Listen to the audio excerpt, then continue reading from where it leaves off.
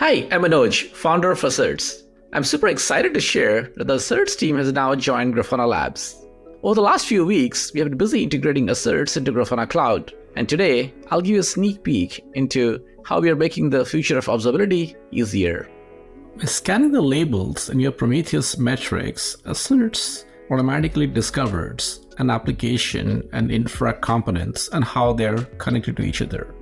So here we are looking at all the pods with name not equal to null and the nodes they're running on and the volumes that are attached to it and the services that are connected to each other. But this graph is already looking pretty busy, so not very interesting. So, but what if I add a qualifying condition that I want to look at pods which have name containing MySQL? Now that is interesting.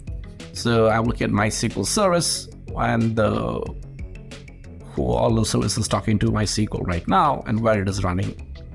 Now let's go back and take a look at um, the robot shop services search expression that I've built here, which essentially is saying that I own the namespace robot shop. I'll look at all the services running on it.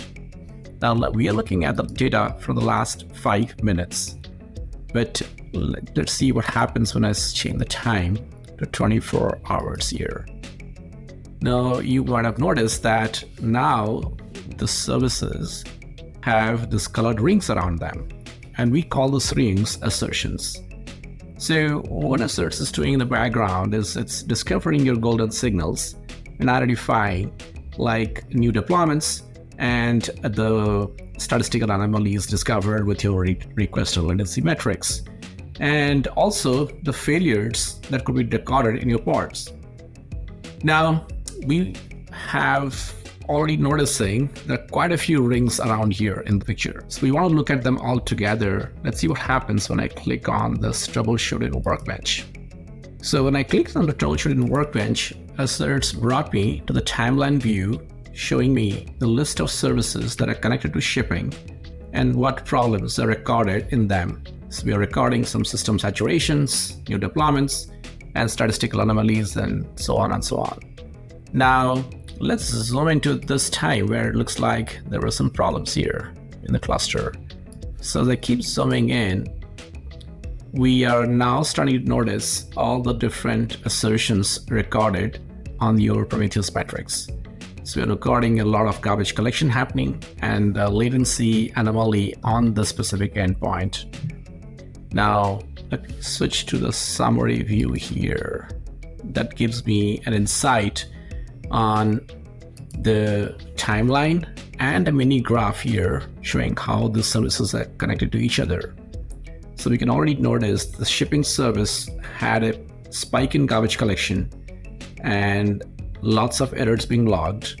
And this particular endpoint is having a latency anomaly. And it all started right after we did a new deployment.